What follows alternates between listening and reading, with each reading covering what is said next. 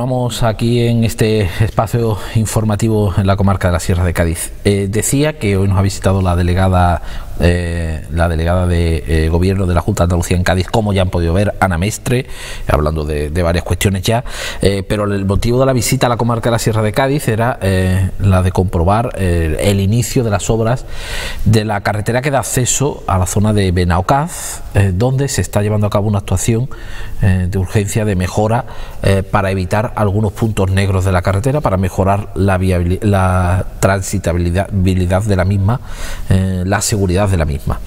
Bien, eh, Ana, eh, Ana Mestre, la delegada, hablaba así de esta actuación importante para el municipio. Bueno, pues muy buenos días a, todos. Muchísimas gracias por acompañarnos en esta convocatoria de prensa que hacemos en un maravilloso municipio de la provincia, en la Sierra de Cádiz, como es Benaucás, querida alcaldesa. Muchas gracias, querido equipo de gobierno, por acompañarnos en esta presentación de, obra que hacemos junto a la delegada territorial de Fomento y junto a Alberto Vaz, eh, técnico de la Delegación Territorial de Fomento de Cádiz, a los cuales les doy las gracias por la diligencia, por el compromiso, por el buen hacer eh, que está suponiendo que la Sierra de Cádiz sea una comarca más próspera, sea una comarca con mejores conexiones y sea una comarca en la cual podamos cumplir los compromisos electorales que tiene este nuevo gobierno de la Junta de Andalucía en Cádiz y con Cádiz.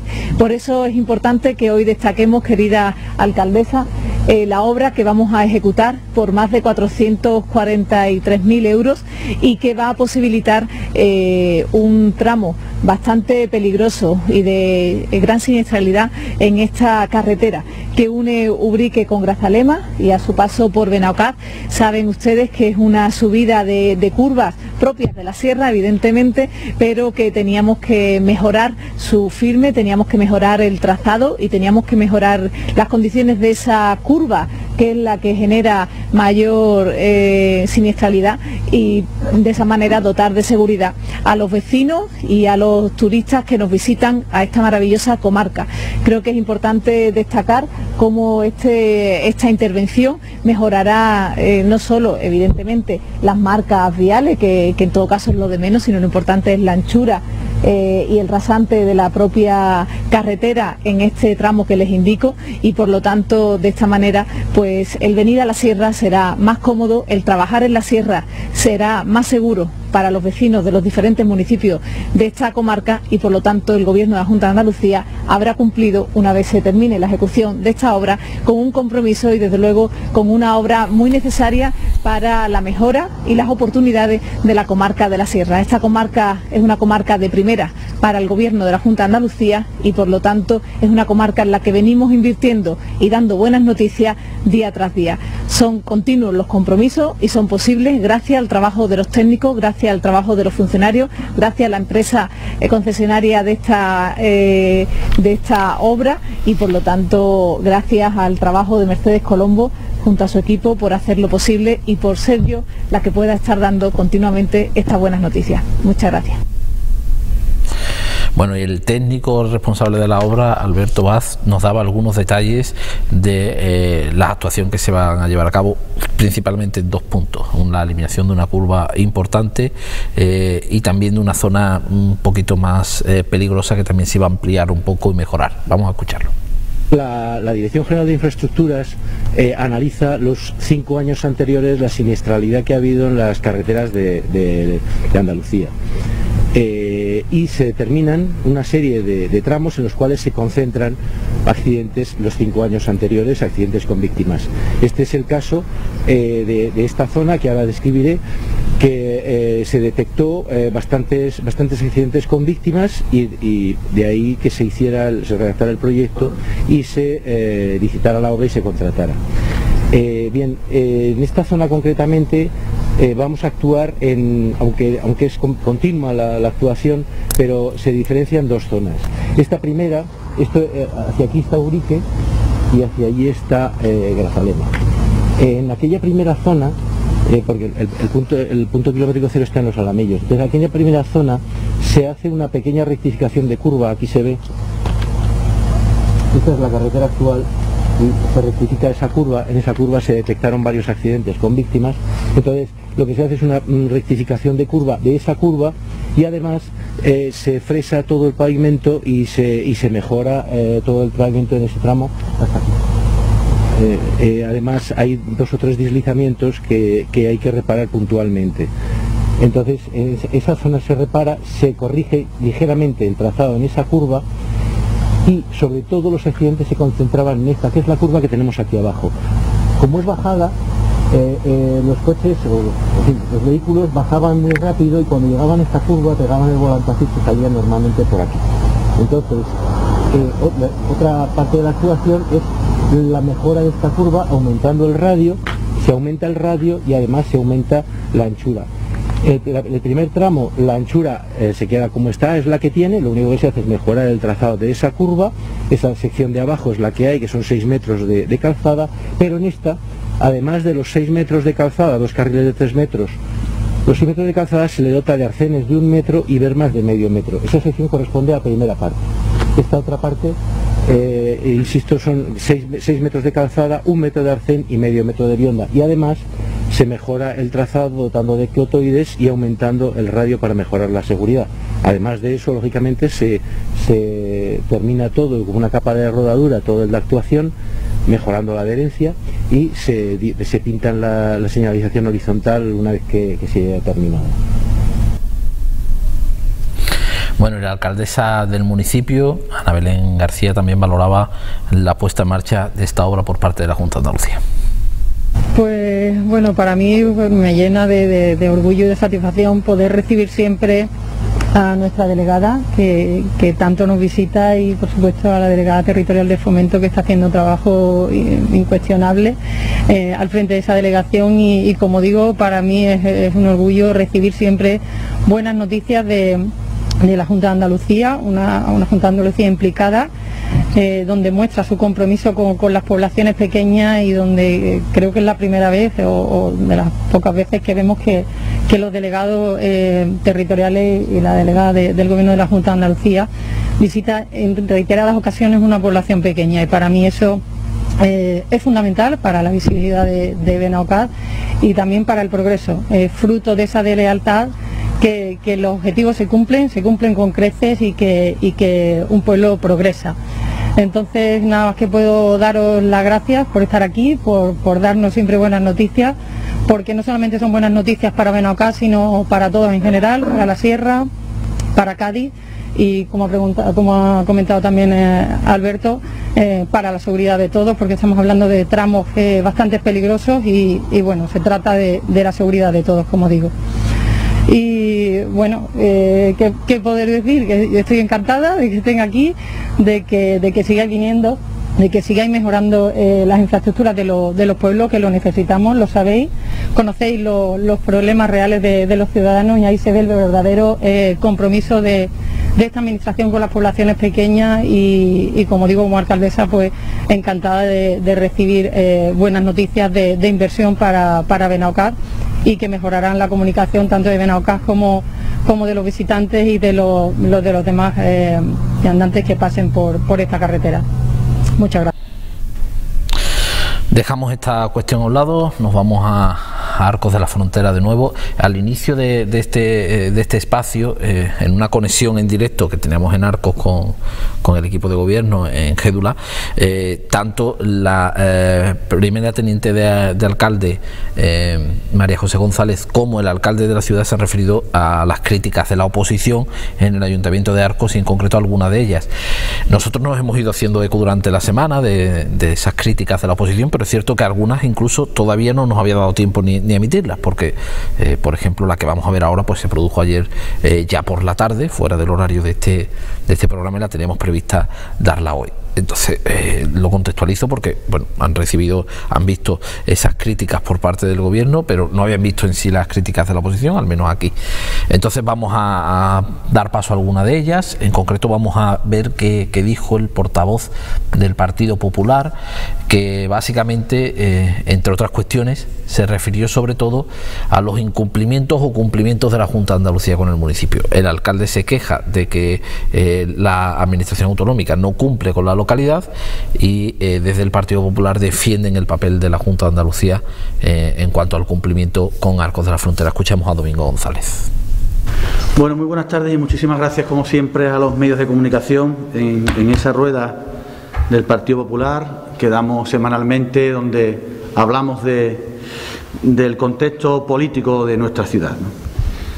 La verdad que ya no nos sorprende, ya no nos sorprende, pero es una pena que aquel que dice que no tiene ningún tipo de apego al sillón de la alcaldía, que está allí porque el pueblo ha elegido sabiamente y lo han colocado con mayoría absoluta, no deja de mentir cada vez que habla. No deja de mentir cada vez que habla. Ya lo dijimos la semana pasada, la anterior y la otra y la otra, es decir, ¿cómo es capaz de engañar al todo, a todo el pueblo de Arco? a los que lo votaron y a los que no le votaron? ¿Cómo es capaz de engañar, de mentir a los vecinos de Arco y quedarse tan tranquilo?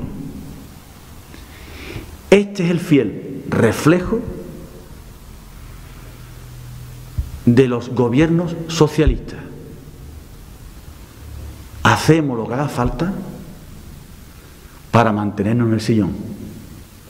Lo estamos viendo en Arco y lo estamos, viendo también en el gobierno de España. ¿Cómo es capaz un presidente de pastar con terroristas, con independentistas, tragar lo más grande por salvarse él y quedarse en el sillón de la presidencia del gobierno y aquí de la alcaldía de Arco de la Frontera? Cuatro mentiras, cinco, seis, siete, que voy a enumerar con claro ejemplo para que los vecinos de Arco conozcan la realidad de este equipo de gobierno. Hace poco salió el alcalde diciendo que iba a instar a la Junta de Andalucía para que cerrara los colegios, una medida muy populista, cuando la propia ministra de Educación, hoy mismo, en el telediario de la tarde, ha salido diciendo que los colegios no se cierran porque la tasa de incidencia de contagio por COVID es mínima y son lugares pues muy seguros para los críos y el profesorado. Esto también lo dijo el consejero de Educación y la gente se volvió loca. ¡Oh, hay que ver, hay que ver! Ahora lo dice la ministra de Educación y parece que no pasa nada. Y sale el alcalde diciendo medidas muy populistas, típicas de él, vamos a pedir a la Junta de Andalucía que cierre los colegios, sin consultar ni siquiera con el Consejo Local o Escolar Municipal, sin ni siquiera consensuarlo, sino él salió, se levantó esta mañana y dijo, vamos a cerrarlo, porque como lo, que alguna parte de, la sociedad estaba reclamando, pues él se unía a esa corriente sin saber que las competencias para poder cerrar un colegio depende de su compañera socialista, la ministra de Educación. Precisamente hoy ha vuelto a insistir en que los colegios no se cierran. Ser populismo de este equipo de gobierno socialista. Recuerdo, y seguramente recordéis, aquel pleno del ayuntamiento en el que la señora delegada de Hacienda le pregunta a la señora interventora en aquel momento, ¿se pueden hacer unos presupuestos municipales? Y le dijo, sí, se pueden hacer unos presupuestos municipales. La señora delegada de Hacienda decía, no, no, no se pueden hacer presupuestos municipales. Justamente después de aquello, cuando había dicho la señora delegada de Hacienda que no se podían hacer y la señora interventora que sí se podía hacer y el resto de la oposición coincidíamos con la señora interventora, salen anunciando que van a hacer presupuestos y que en 2019 Arco contará con unos presupuestos municipales. Estamos en 2021 y Arco sigue sin tener presupuestos municipales. Siguen teniendo los mismos presupuestos prorrogados del equipo de gobierno del Partido Popular. No seríamos tan malos cuando esos mismos presupuestos que nosotros elaboramos y desarrollamos los siguen manteniendo el equipo de gobierno socialista. Es decir, no se puede hacer unos presupuestos, después sí se pueden hacer unos presupuestos, lo vamos a hacer en 2019 y estamos en 2021. Es decir, tres mentiras del tirón. Tres mentiras del tirón. Hace muy poquito, recientemente, el famoso informe de la policía local. En Junta Local de Seguridad hay un informe que no informa ni favorable ni desfavorablemente Después no hay ningún informe. Después sí hay un informe, pero es un borrador. Otra mentira más. ¿Hay informe? ¿No hay informe? ¿Es un borrador? ¿En qué quedamos? Otra mentira más para los vecinos de Arco de la Frontera. Y curiosamente, no hace mucho, en otro pleno, dice la señora delegada de Hacienda, Venimos a traer aquí una RPT consensuada con los sindicatos. Mentira. Mentira. No estaban consensuadas con los sindicatos. Los sindicatos se enteraron de ese RPT por la oposición. Señora delegada de Hacienda, los sindicatos se enteran de ese RPT por la oposición, vosotros no consensuasteis nada. Vosotros pegasteis otro farol más, más, uno de tanto, en el Pleno para decir que aquello, para medio tranquilizar a la oposición. Esta es la realidad de este equipo de gobierno. El equipo de gobierno socialista. El equipo de gobierno de la mentira. El gobierno de la mentira mienten más que hablan. Yo no sé si ustedes recordáis aquel grupo, esa pareja de cantantes, creo que era Vinnie Manili o algo así, el mayor fraude de la música.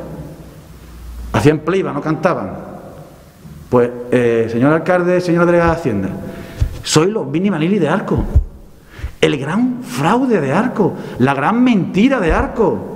Vosotros que veníais a salvar a Arco y lo estáis llevando a un pozo mentira tras mentira, mentira más mentira para mantener el sillón de la alcaldía. La piscina cubierta se iba a hacer en el 2019, el camping de Arco se iba a abrir en el, 2000, en el verano de 2016 y ecoreciclaje se tenía que haber cerrado y se iba a cerrar también porque así lo recoge el plan de ajuste. El plan de ajuste que según para qué y para quiénes se utiliza o no se utiliza en este ayuntamiento. Miren ustedes, vecinos de Arco. Otro dato casualmente populista del señor alcalde. Decía, vamos a sacar hace poco, vamos a pedir, vamos a estar nuevamente a la Junta de Andalucía, pues aquí nada más que a la Junta Andalucía para pedirle, vamos a pedir a la Junta Andalucía que el superávit de la Junta Andalucía se destinen en ayudas al comercio local. Que el superávit de la Junta de Andalucía se destine a la ayuda de autónomos y del comercio local. El superávit, el mismo superávit que vosotros socialistas en la Junta de Andalucía decía que era inexistente decía que era inexistente. Pues a este superávit que es inexistente, que si fuera inexistente no se le podría pedir nada porque no existe, le pedí primeramente que el superávit se destine a contratar profesionales sanitarios. Y luego a ese superávit inexistente dicho por vosotros socialistas, le pedís ahora que se dediquen a ayudas al comercio local, a la hostelería, ¿A usted de verdad que nos dan a usted? ¿Os queda tan tranquilo cuando salí, cada vez que salí a decir la mancha de mentira que decís? ¿Y os queda tan tranquilo? Pero es que yo no sé si es que este alcalde no lee o lee poco o lee lo que le interesa. Mire usted, el gobierno de Juanma Moreno ha aprobado en su Consejo de Gobierno esta semana un plan de ayudas a pymes y autónomos acordado con CEA con ATA y con la Cámara de Comercio. 667 millones de euros para el comercio y la hostelería. 667 millones aprobados esta semana. Usted, señor alcalde, tendría que escuchar las noticias y verlas. O que alguien le dijera, mire usted, no está la Junta de Andalucía a pedirle nada, que es que ya la Junta de Andalucía ya lo ha sacado, que la Junta de Andalucía se ha adelantado. No solamente usted, se ha adelantado a todas las comunidades autónomas de España, incluso, inclusive al presidente Sánchez, que todavía no ha hecho nada por el comercio y por la hostelería. Ahí están los comerciantes, ahí está la hostelería, tirando esos platos, protestando de que la hostelería, el comercio no ha roto, o está pagando en este caso los platos rotos de la dejadez de, este señor presidente. 223 millones de euros en ayudas directas al comercio y la hostelería, 350 millones de euros para vales y 94 millones de euros para ayudas indirectas. Esto no lo digo yo, ¿eh? No me he levantado hoy diciendo, le vamos a dar esto, ¿eh? Los 667 millones de euros, podéis meterlo en Google y veis perfectamente que está ya aprobado por la Junta de Andalucía. Otra gran mentira del Partido Socialista que se agarra, pues, a lo que se agarra, es decir, cuando no tiene más recursos para poder eh, hacer o deshacer, se agarran a las mentiras. Y para ir finalizando, quiero que ustedes escuchen esto. No solamente una falta de lealtad a quien le está dando la mano para ayudar, que es la Junta de Andalucía, sino que aparte es una gran mentira. No voy a quitar el, sombrero ante la gestión de la Junta de Andalucía, porque la gestión de la Junta de Andalucía en todos los sentidos es pésima, en sanidad, en educación, en dependencia, etcétera, etcétera. Pongo como concha para culminar lo que estoy diciendo el hecho de que los únicos que no tienen cerramiento perimetral son las personas que pueden ir a esquiar hacia la Nevada o los que pueden ir a cazar jabalíes en, en otras provincias. Esa es la de la Junta No voy a quitar el... Hombre, señor alcalde, esa es la gestión de la Junta de Andalucía. Le voy a decir a usted cuál es la gestión de la Junta de Andalucía con Arcos, con su ayuntamiento. Por lo pronto, lo último, lo más reciente, de esa reurbanización de la calle Muñoz Vázquez, que usted tiene ahora mismo cortada por obra, 115.785 euros lo ha puesto la Junta de Andalucía. De esa adecuación del semisótano de emprendedores para el vivero de empresas, 11.000 euros lo ha puesto la Junta de Andalucía. De la reurbanización de la calle Almendro de Gédula, más de 26.000 euros lo ha puesto la Junta de Andalucía. Mire usted, 854.000 euros para la creación de empleo. Aquí lo tiene. 20.612 euros para adecuar el Alminares, los espacios del Alminares. Más de 49.000 euros para el Instituto de los Cabezuelos. Y en el Guadalpeña, pintura y rotulación, más de 23.000 euros. En educación, que usted dice que todavía no se ha hecho nada en materia de educación. Más de 29.000 euros para la climatización del centro de salud del barrio Bajo. Hay más, ¿eh? Hay más. Os voy a leer lo más destacado. Más de 279.000 euros del arreglo de la carretera A372, remodelación de varios cruces. Más de 337.000 euros en rehabilitación de viviendas. Más de 42.000 euros en el sellado de grietas. Más de 50.000 euros en arreglo de caminos rurales. Más de 106.000 euros fondo social para ayuda de servicios sociales sin contar los puestos de muestreo autocovid y los dos o tres cribados que llevamos ya en Arco de la Frontera. 5.000 euros de ayudas a librería, más de 56.000 euros en el plan de ayuda a familias humildes, más de 78.000 euros en políticas sociales para pagar las facturas de luz, de agua y alimentos a los vecinos de Arco de la Frontera. La Junta de Andalucía, ¿eh? No usted, la Junta de Andalucía. 4,1 millones de millones de la depuradora, ahí lo tiene. Más de 58.000 euros del aliviadero de aguas pluviales para Gédula. Más de 1,1 millón del programa de la ITI para fomentar la calidad urbana. Más de 700.000 euros de señalética. Más de 290.000 euros de la rotonda de acceso al Peral, esa rotonda tan peligrosa. Por desgracia, ha tenido que ser la Junta de Andalucía la que ponga pie en pared tan pronto como se lo hemos pedido. 290.000 euros. Más de 6.900 euros en ayudas a vivienda. 229.000 euros en mejora de tramos de concentración de accidentes. 25.995 en el punto kilométrico 1.500 y 2.500 de la zona esta que va, que pasa por el mesón de la Molinera. La medicalización de residencial Lago de Arco. Ahora también que me acuerdo, justamente de residencial Lago de Arco, primer, primera residencia de ancianos en España, junto con una de la granja en Jerez. De España, ¿eh? no de Andalucía, de España, ¿eh? En vacunarse los usuarios. Aquí lo tiene, la residencia Lago de Arco y la granja. ¿eh? Las primeras de la provincia por la vacuna y las primeras de España. Mire usted, más de 67.770 euros en la licitación del proyecto para transformar Arco con la ITI. Más de 710.000 euros en refuerzo de los servicios sociales de Andalucía.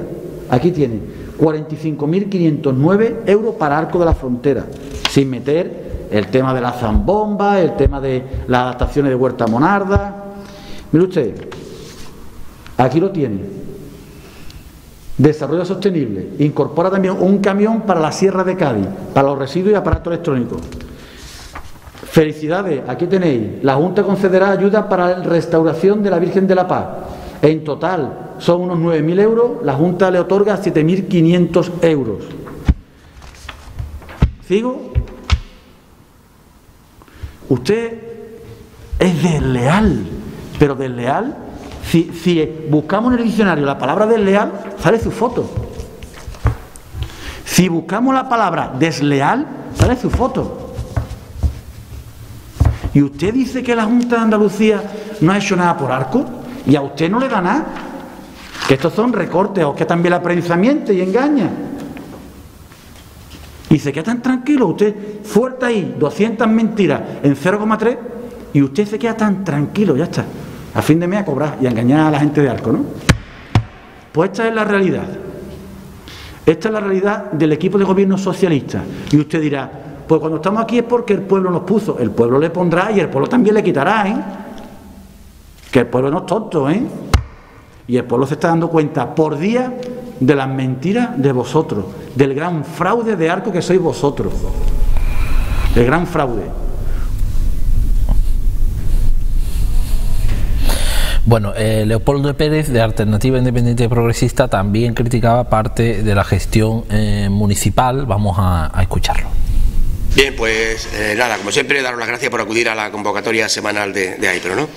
Eh, aunque el alcalde sabemos que no le gusta que los vecinos nos llamen para intentar ayudarles a, solucionar sus problemas, eh, en esta ocasión no tenemos más remedio que hacernos eco de dos situaciones que creemos que por parte de nuestro ayuntamiento se tienen que tomar las medidas oportunas y ayudar a, estos vecinos cuanto antes. ¿no? En primer lugar, nos invitaron a ir a la calle Cuna, a una vivienda pública ocupada por una familia que lleva muchos años en esa vivienda y que desde el principio ya le, insinuaron eh, los problemas que podía tener eh, esa vivienda. La verdad que eh, estuve allí, comprobé in situ las circunstancias en las que está la vivienda y la verdad que, no, es, no es muy agradable vivir en las condiciones que esta, que esta familia vive. Al alcalde también lo han invitado, pero ha dicho que, que él no va a ningún sitio. esta familia está soportando humedad de todo tipo, ¿eh? humedades que están corroboradas por el arquitecto técnico municipal, que en su día dijo que las humedades producidas eh, se deben a la condensación que hay en la vivienda, tanto en techo como en paredes. Em, incluso dice que, se acumula agua en el suelo. eso usted cuenta la eh, humedad que tiene que haber en esta vivienda para que el informe del arquitecto técnico municipal sea en, eso, en esos términos. Esta situación que, provoca, bueno, pues provoca, teniendo en cuenta que los cables van mm, por las paredes, provoca eh, que se abríen mm, distintos eh, electrodomésticos, la televisión, la lavadora, el frigorífico, y la verdad que esta es una situación insostenible para esta familia. Además de este inconveniente, también resulta que esta familia tiene un, hijo que tiene mm, problemas de eczema y según el informe médico, que también eh, tuve oportunidad de ver, pues eh, son producidas estas enfermedades producidas por las condiciones en las que está la vivienda.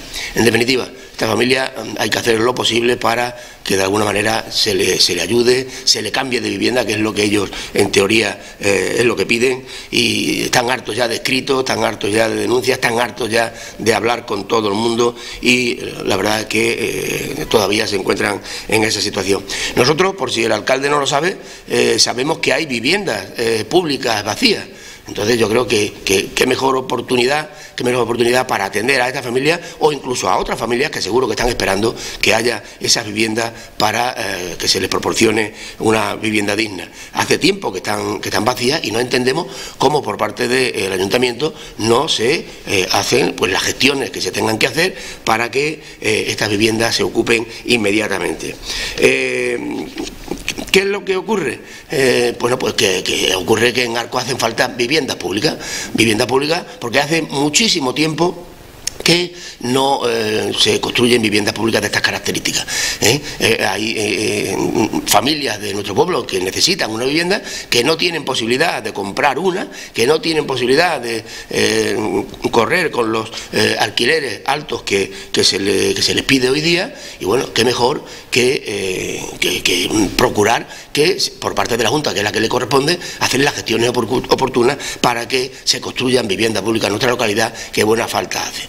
El alcalde dice que eh, la funcionaria que hay en, la delegación correspondiente de Cádiz que no le coge el teléfono.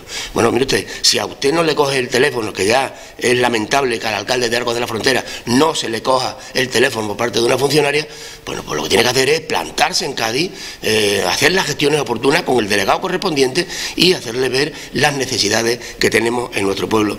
¿Qué le va a pedir el, delegado eh, correspondiente? Pues le va a pedir que le ofrezca suelo público suelo del ayuntamiento. Pero claro, como el, nuestro ayuntamiento metió el Plan General de, Ordenación Urbana en un cajón y no lo ha sacado en seis años, pues la verdad es que eh, no, hay, no hay suelo. Entonces ahí está el problema. Cuando no se hacen las cosas, repercute en una serie de situaciones que después nos lamentamos todos los ciudadanos de Arco. Eh, además, no solamente hay que pedir eh, que, se construyan viviendas públicas, hay que pedir también la rehabilitación de tantísimas viviendas como hay en el casco antiguo, como ya le propuso Manuel Erdozain eh, hace un par de años eh, en un pleno, que es lo que tienen que hacer, gestionar de alguna manera, esas sí que son gestiones importantes para nuestra localidad. Hay más de 200 mm, viviendas vacías en el casco antiguo que se están cayendo por falta de, bueno, por falta de calor humano, por decirlo así también serviría para repoblar un poco el casco urbano que se está quedando pues, pues vacío, como, como todos sabemos. ¿no? Entonces, bueno, yo creo que esa es la gestión importante que un alcalde tiene que hacer porque es lo que verdaderamente interesa a los ciudadanos. Yo creo que le hemos puesto tarea a nuestro alcalde, creo que es una tarea importante y eh, que cuente con nosotros para lo que necesite para que estas situaciones salgan adelante. En, otro orden de cosas, y en la misma línea, Decir también que tenemos que denunciar pues, las filtraciones que se producen en la calle Gamira, en algunas eh, viviendas de esa calle, que provienen de la calle Tablada. Una calle que tiene eh, mucha, mucha antigüedad, que no se le ha hecho eh, nada a una parte de ella, a otra parte, otra parte sí la arreglamos nosotros en nuestra época y quedó perfectamente, pero la parte que no dio tiempo a acometer, pues la verdad es que tiene filtraciones que provocan esas humedades en las casas de, la calle Gavira. Eh, humedades que hacen imposible que estas familias vivan allí también y ven cómo se deteriora sus casas, que bastante trabajo les ha costado eh, pues ponerla eh, en, marcha. Mm, es una obra que mm, bien se podría hacer por el Profea, bien se podría hacer por Aqualia, por, por esa inversión anual de 150.000 euros que tiene que hacer gracias al convenio que nosotros hicimos con Aqualia y que está, está permitiendo levantar muchas calles y mm, mm, introducir nuevo saneamiento que buena falta le hace a, nuestro pueblo el cambiar eh, la red de saneamiento, eh, se está haciendo el depósito del agua, en fin, un convenio que es importante para nuestra localidad y que también se puede aprovechar para acometer esta obra en, en, esta calle. Y si no, pues bueno, con recursos propios. Ahora que dice que se va a aprobar el presupuesto general, pues yo creo que es un buen momento para que esta calle sea una de las primeras en arreglarse y darles respuesta a esta problemática que tienen, que tienen los, vecinos. Nosotros, la parte de la calle tablada que arreglamos, la hicimos con recursos propios, porque teníamos nuestro presupuesto anual en condiciones. Como ellos no tienen presupuesto, que lo tienen prorrogado desde hace seis años, pues lógicamente se encuentran con todas estas dificultades, con todos estos problemas que eh, en una ciudad como Arco de la Frontera, pues se presentan día a día. Así que nada más y muchas gracias. Bueno, pues eh, esas son las críticas, como decíamos, de la oposición. Eh, ya hemos escuchado antes también la, respuesta que, hacían desde el equipo de gobierno. La presa del arroyo del Fresnillo es una presa muy pequeñita que está ubicada eh, precisamente en el arroyo de, ese cauce que le da nombre, el arroyo del Fresnillo, en Grazalema, ya saben, en esta localidad donde nace el Guadalete. Bien, esa presa pues se encuentra a tope de capacidad por las lluvias. Saben que Grazalema es uno de los sitios eh, con más precipitaciones. Es cierto que es una presa muy pequeñita, también hay que decirlo, y está aliviando agua, está aliviando agua como pueden ver, por eso traemos esas imágenes eh, de ese aliviadero de agua que alegría nos da siempre cuando vemos tanta agua así, ¿verdad? Bueno, pues es, encuentra pues aliviando eh, al estar a tope de capacidad. es un aliviadero curioso porque se hace desde el centro de la presa, pueden verlo este, este pequeño, esta pequeña presa, este pequeño embalse da eh, agua a Grazalema, Villaluenga del Rosario y Benaocaz, o sea, municipios de su entorno pequeñitos que todos se abastecen de esta zona. Así que eso también es parte de, la actualidad. Las lluvias de los últimos días pues ha dejado esta imagen que podemos ver eh, de la, eh, del agua que terminará de una u otra forma en el arroyo del Guadalete, por lo que la propia cuenca pues recibirá también más agua. Esas son las imágenes. Bueno, pues llegados a este punto, debo de despedirme. Muchas gracias por su atención. Eh, gracias por estar ahí. Eh, a eso de las 2 de la tarde solemos despedirnos ya de este espacio informativo que sin ustedes no tendría ningún sentido. Aún lo llaman las obligaciones familiares, lo debo decir. Ya tengo por aquí a mi niña esperándome para salir del trabajo. Qué alegría, es el momento de mayor alegría. Así que me voy con mis niñas. Muchas gracias por estar ahí. Hasta la próxima.